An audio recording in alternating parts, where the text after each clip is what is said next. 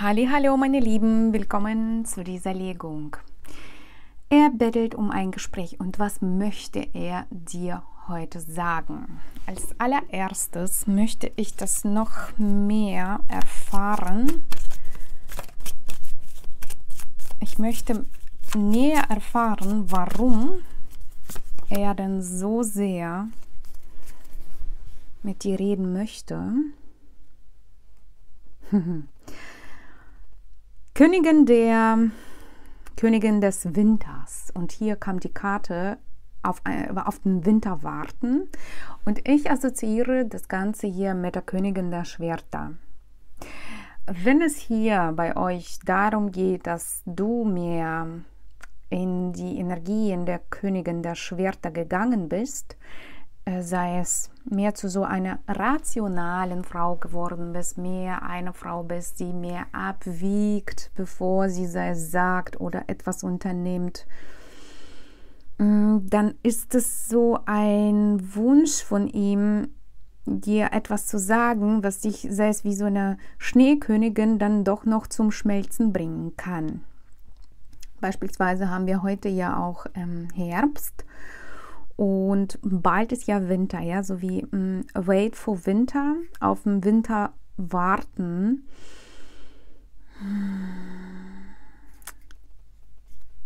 Bitte denk da mit, assoziiere da einfach mit, interpretiere das für dich. Was kann das für euch beide bedeuten? Was ist das alles an Symbolik, die dabei ist? Also Winter, bald ist Winter. Es ist auch egal, wann du diese Legung findest. Mm, aber dennoch geht es hier mehr um Kühlheit, um mehr kühlere Zeit.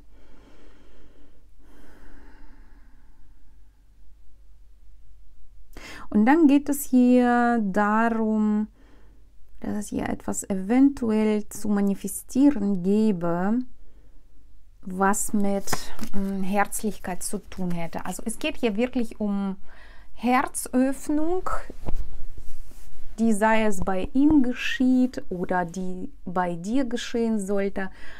Also ganz grob umrissen ist es so der Grund, aus welchem er mit dir heute reden möchte. Mach es dir gemütlich und an all diejenigen, die doch noch zu meinem Kurs wollen. Das ist ein Online-Kurs, heißt Energie der Herrscherin. Für diejenigen von euch gibt es noch die Möglichkeit, sich anzuschließen, denn wir starten am 1.10.2023 und bis dahin kannst du dir schon mal einen Platz reservieren. Dafür schreib mir einfach eine Mail und nähere Infos findest du unter diesem Video. Lass uns einfach anfangen. Du kannst auch ruhig seinen Namen laut sagen, dich auf eure Energien einstellen, an eine bestimmte Situation denken, vielleicht auch in Verbindung mit Kühlheit, mit Winter, sei es auch, kann es hier natürlich sein, dass er auch in solche Energien geht, hm, wo er dann mehr sei es eine bestimmte Gefühlslosigkeit ähm, aussendet. Ich überlasse es aber dir, wie du das interpretierst. Ich muss das alles nicht überinterpretieren. Wir werden das noch detaillierter anschauen können. Jetzige Situation. Muss ich einiges zensieren.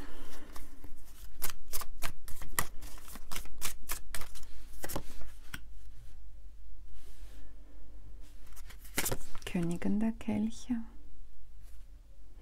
Ass der Münzen, Zehn der Münzen. Ich ähm, versuche gerade ein Wort gedanklich zu übersetzen. Wie könnte man das nennen? Ich muss das umschreiben. Vielleicht kann ich das nicht wortwörtlich übersetzen. Dies wäre wie solch ein Begehren. Begehren, das hat auch etwas was schon Göttliches. Sei es, er sieht dich wie solch eine Göttin, wie solch eine Diva, die er in seinen Armen halten möchte.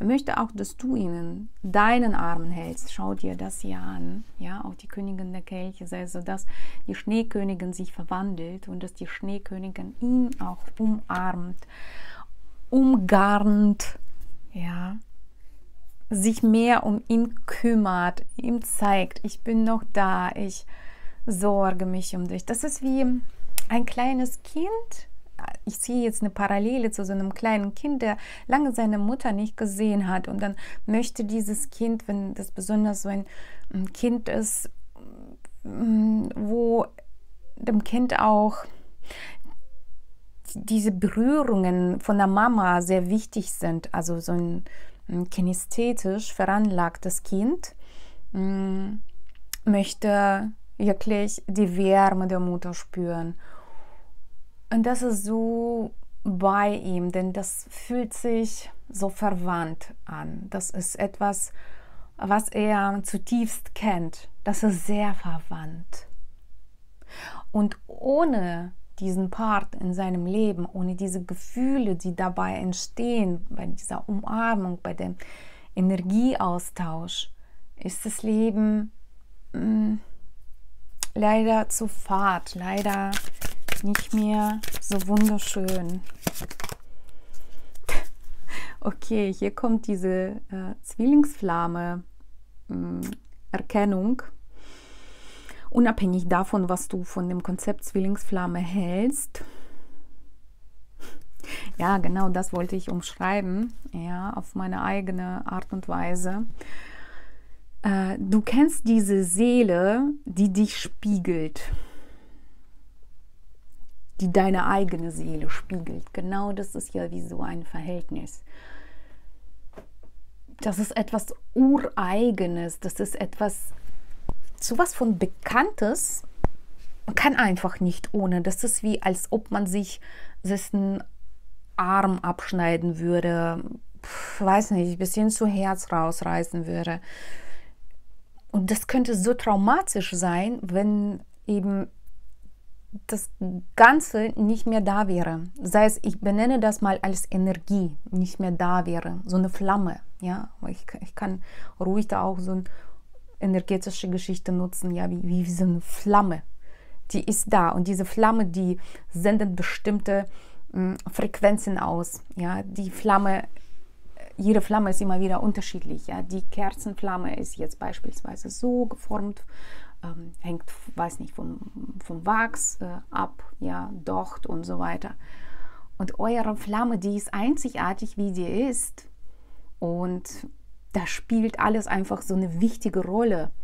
Wie ist man denn da geformt? Und auch hm, sei es seine Bedenken, dass du da mehr zu dieser Königin der Schwerter zu sein tendierst. Ähm, das zerbricht auch sein Herz, weil mir jetzt hier aus seiner Sicht mehr eure Situation gezeigt wird, wo er auf dich zeigt und dir sagt, es ist doch so wunderschön zwischen uns, sei es gewesen oder immer noch ist. Es ist so toll, dich in meinen Armen zu halten, ja, mit dir sei es aufzuwachen, mit dir einzuschlafen. Wenn wir zusammen sind, dann vergessen wir die Welt um uns herum.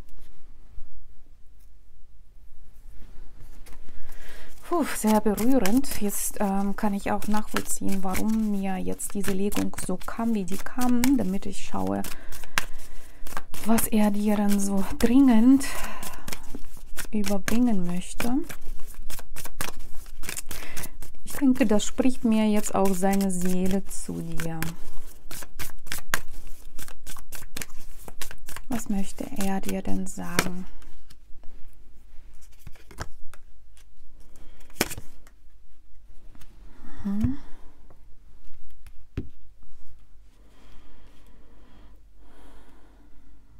Ich werde das Ganze jetzt mehr abstrakter umreißen, was ich hier sehe. Hier geht es um ähm, Folgendes, folgende Aussage.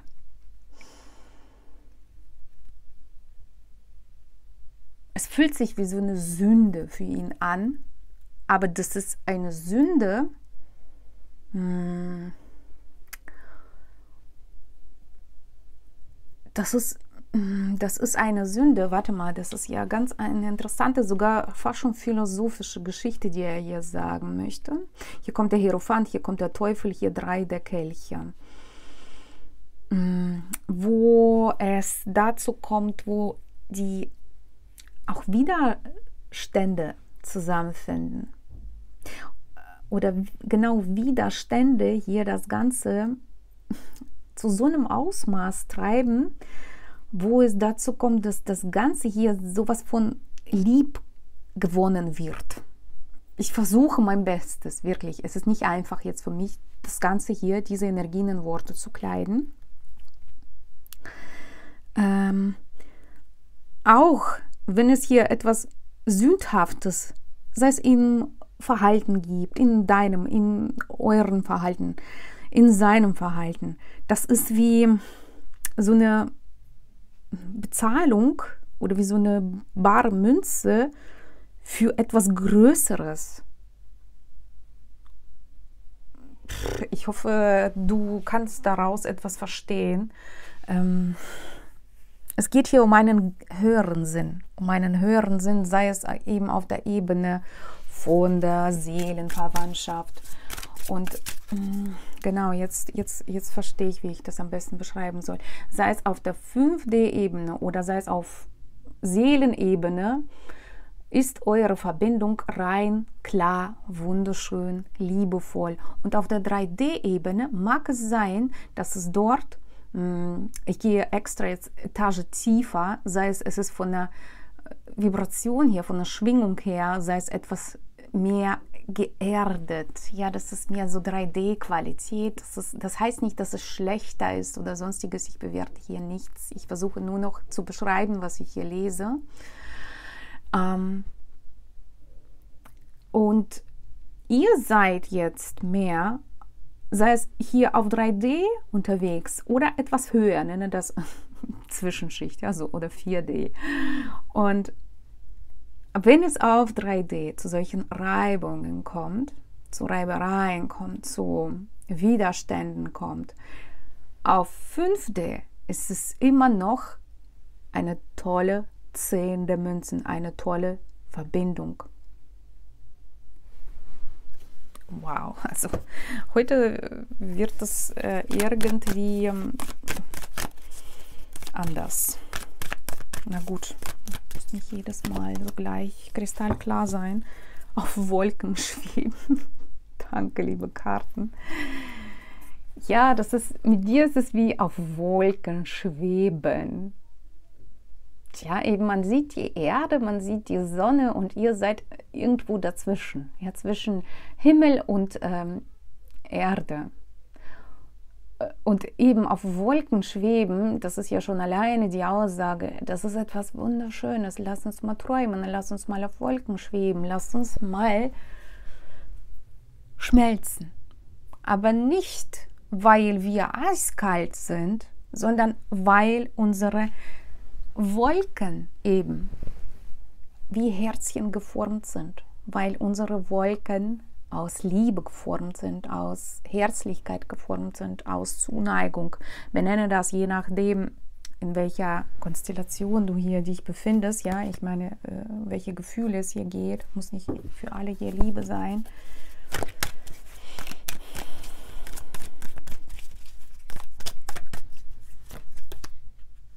Verpflichtungen.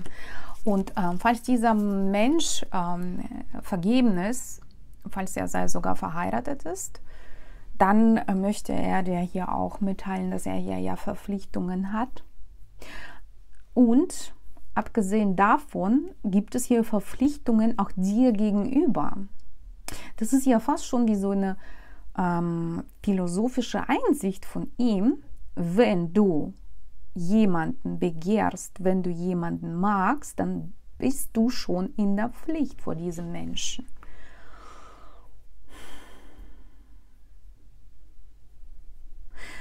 Wie beim kleinen Prinzen, ja, diese Aussage, wir sind verantwortlich für diejenigen, die wir gezähmt haben.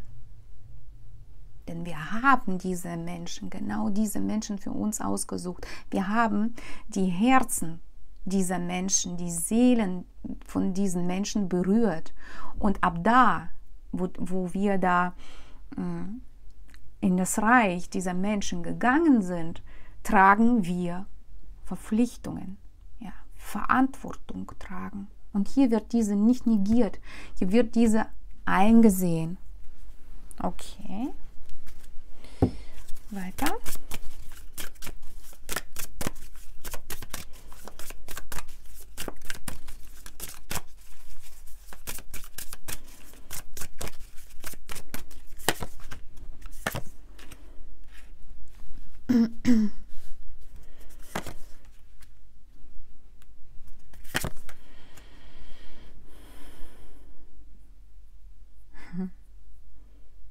Geht es darum, dass er,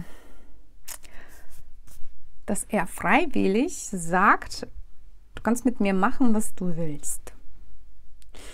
Ich stelle mich zur Verfügung. Du darfst entscheiden. Du darfst dich auch hier nicht wundern, wenn er, sei es beim nächsten, sei es Treffen oder wenn ihr miteinander schreiben, beim nächsten Kontakt, ähm, vielleicht war das schon eben der Fall und du schaust diese Legung und sagst, ja, das ist jetzt genau geschehen, mm, dass er wie ähm, jemand ist, der sagt, du kannst mit mir machen, was du willst. Ich weiß, das, was du mit mir machst, ist richtig.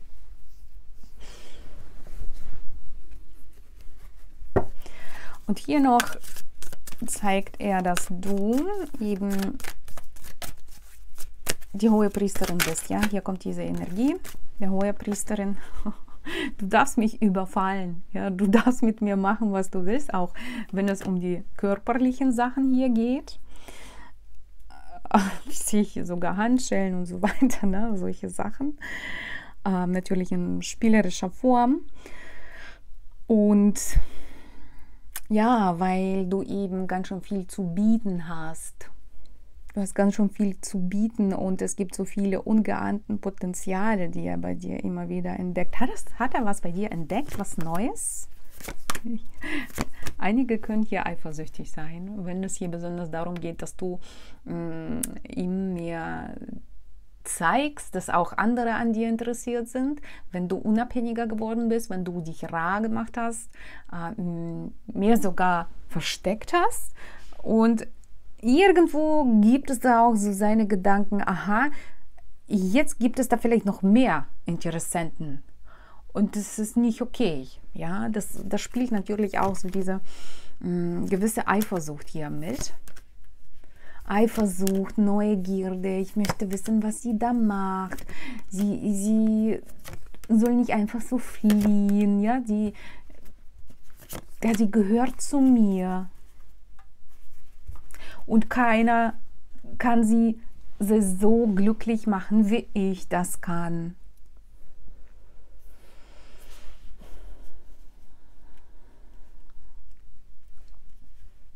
geheimnisvolle Frau bist du hier. Eine geheimnisvolle, voller Tiefe, voller ungeahnten Energien sogar.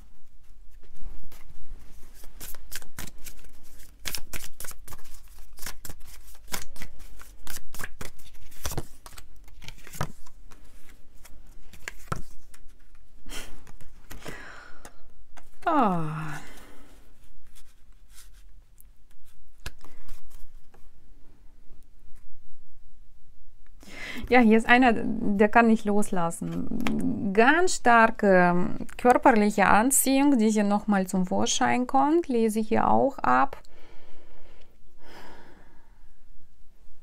Aber was ich jetzt möchte, ich möchte doch noch tiefer eintauchen in Richtung seelische Befindlichkeit, weil ich das schon spannend finde, wie das hier angefangen hat. zweimal Königin der Kelche sehe ich. Und das ist die Frau, für die man auf jeden Fall eine starke emotionale Zuneigung auch verspürt. Zehn der Kelche, schon wieder.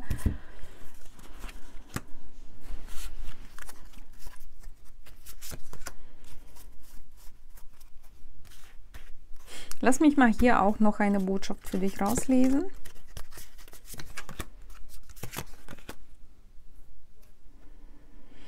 Hier sagt er, ich war, sei es in letzter Zeit oder ich habe mich so gezeigt, als ob ich nicht interessiert bin, als ob ich zu nicht involviert bin, als ob es mich nichts angeht, als ob es mir egal wäre. Aber dem ist es nicht so.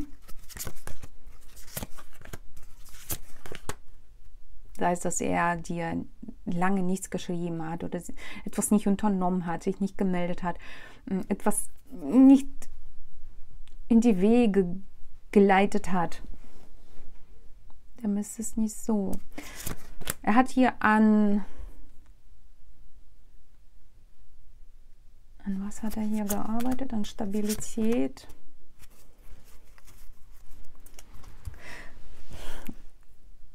Folgendes. Also er wollte, dass die Energien sich etwas beruhigen. Dass es hier mehr Stille gibt, so eine Ebe, ja, wo das Wasser einfach wieder zurückfließt. Hat aber festgestellt, dass auch wenn es wirklich nicht viel passiert, dass da doch noch so viel kocht, so viel brödelt und besonders diese starke sexuelle Energie, die hier zum Vorschein kommt. Je unerreichbarer, desto begehrenswerter. Ja, man kann vielleicht denken, okay, psychologisch können wir das ja auch nachvollziehen.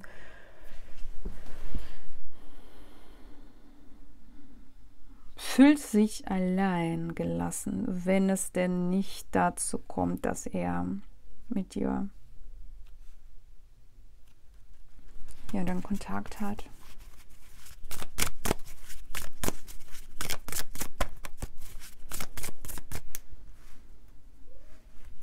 Mich interessiert hier seine vorhergegangene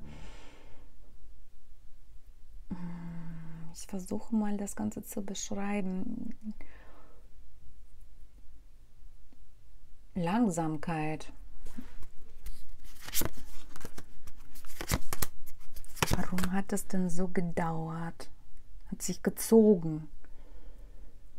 Weil man trifft ja keine Herzensentscheidungen. Nicht einfach mal so. Man muss sich Zeit lassen damit die Wunden hier verheilt sind.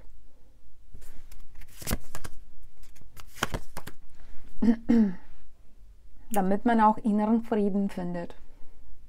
Denke, er hat, hast du hier inneren Frieden gefunden? Er wird hier wirklich ähm, wie geritten, ja, so dass er hier sowas von angezogen ist von dir, von deiner Energie, er kann nicht anders. Auch wenn er sich hier wünscht, dass, ähm, dass es noch länger diese Stille da wäre, diese Ebbe, wo es dann doch nicht dazu kommt, dass es wieder sehr stürmisch wird, dass ihr wieder beide sei es Achterbahn fährt oder einfach mal, dass es dazu kommt, dass ihr ganz vernünftig und normal miteinander umgeht. Wenn er das auch wünscht, ist es ja nicht möglich. Auf der Ebene seines Verhaltens. Es geht hier nicht. Weil da wirken schon, sei es die äußeren Kräfte auf ihn ein. Die höhere Macht sagt, nee, nichts da mit äh, sich ausruhen, mit nichts tun. Ja, jetzt äh, musst du denken, jetzt musst du überlegen, wohin hier das Ganze dich führt. Und die mischen sich ja schon ein, die höhere Macht. Was ist denn nun hier? Ja, ähm, wie geht es deiner Seele? Ist die Seele zufrieden? Seele ist nicht zufrieden von ihm.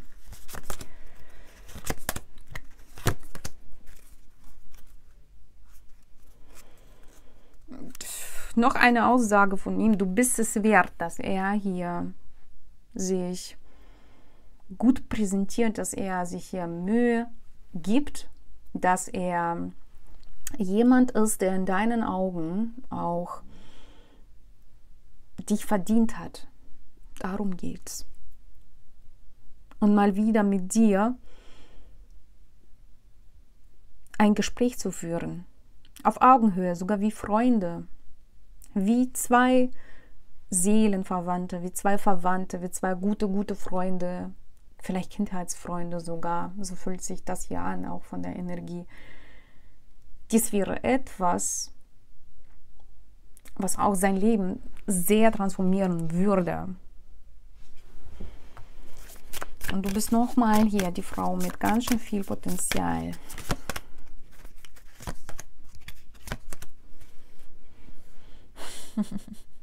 ähm, jetzt eine Botschaft nicht für alle, für einige von euch, falls es dazu ähm, bei euch äh, zu Konflikten geführt hat, weil er sei es hier zu viel äh, leichtes Leben gelebt hat, zu viel gefeiert hat oder zu, zu entspannt war. Da sagt er hier, damit ist jetzt Schluss.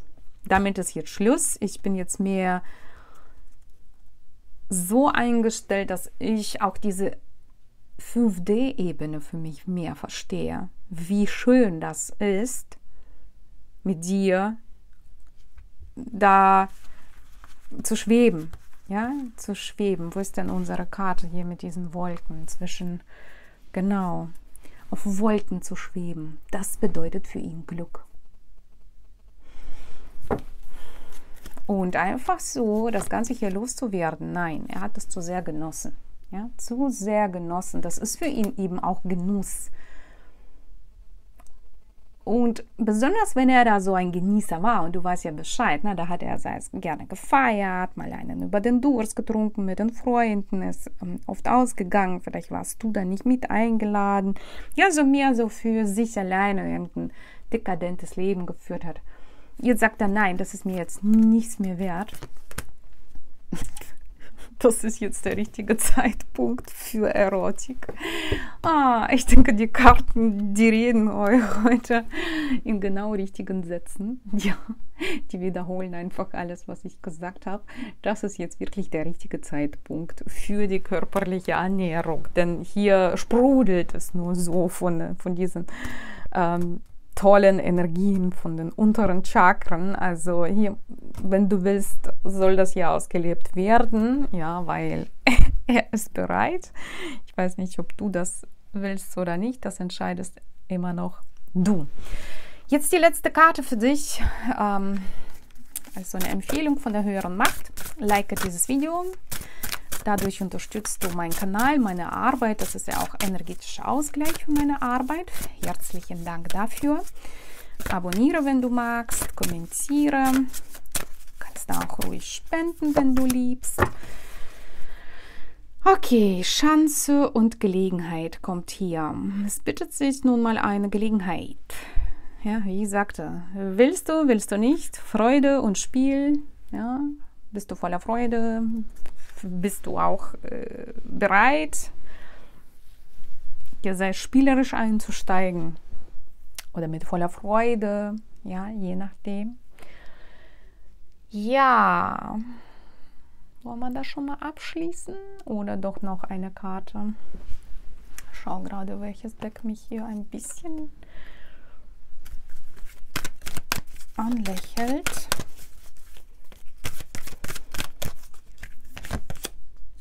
Selbstwertgefühl. Genau, wenn du sagst, ähm, okay, pff, spielerisch einzusteigen ist nichts für dich, ja, dann, dann ist es gut, ja, dann denk an dich, ähm, sich nicht unter deinem Selbstwertgefühl verkaufen lassen. ich verfüge über Seelengaben, die mir und anderen zugutekommen. Ja, auf jeden Fall hier ein Thema Selbstwertgefühl. Es darf nichts unter deiner Würde hier passieren und das möchte er hier, denke ich, auch nicht wirklich. Es mag natürlich Ausnahmen geben, je nachdem, ähm, ja, das ist eine allgemeine Legung und je nach eurer Situation. Aber ich habe alles Wichtige bereits erröhrt. Ich wünsche dir eine tolle Zeit. Danke für dein Vertrauen und bis zum nächsten Mal. Ciao.